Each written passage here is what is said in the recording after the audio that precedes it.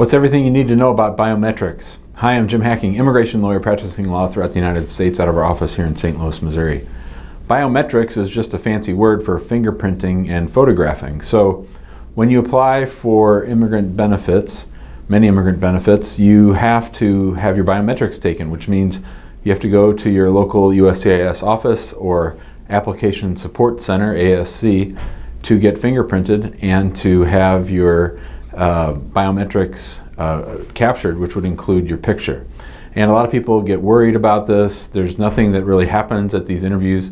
Nobody's ever going to talk to you about the substance of your case.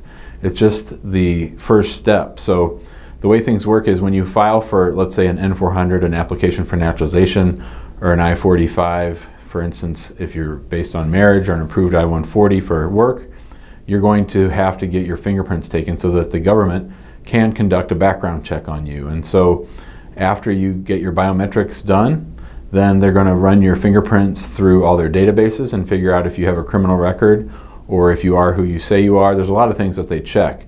And biometrics is what kicks that all off. So typically, you'll file an application, you'll get receipt notices back, and then you'll get a notice for biometrics. And it'll have a given day and time.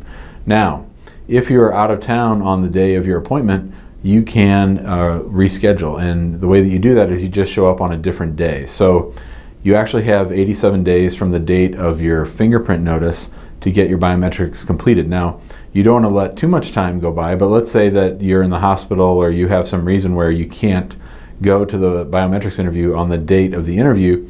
You can go the next day or the day after or the week after and get that taken care of. And you want to do it as soon as possible because that's what starts the background check and they're not going to schedule you for an interview on your application until the background check is completed. So biometrics are very important, but there is some flexibility uh, in that you can go on a different day. In fact, you could even go a day or two early, and if they're not too busy, the people that work in these application support centers are usually pretty nice, and they will slot you in as long as they're not too busy. Now, that's not always the case.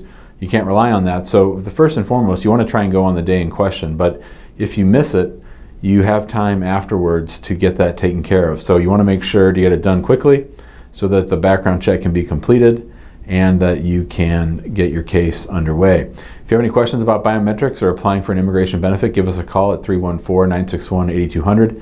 You can email us at info at hackinglawpractice.com. If you like this video, be sure to uh, share it with your friends on social, uh, subscribe to our YouTube channel, and join us in our Facebook group, which is called Immigrant Home. Thanks a lot and we'll see you next time.